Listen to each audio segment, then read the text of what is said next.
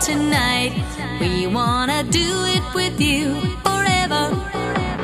Let's go, my friend. Come on, clap your hands together.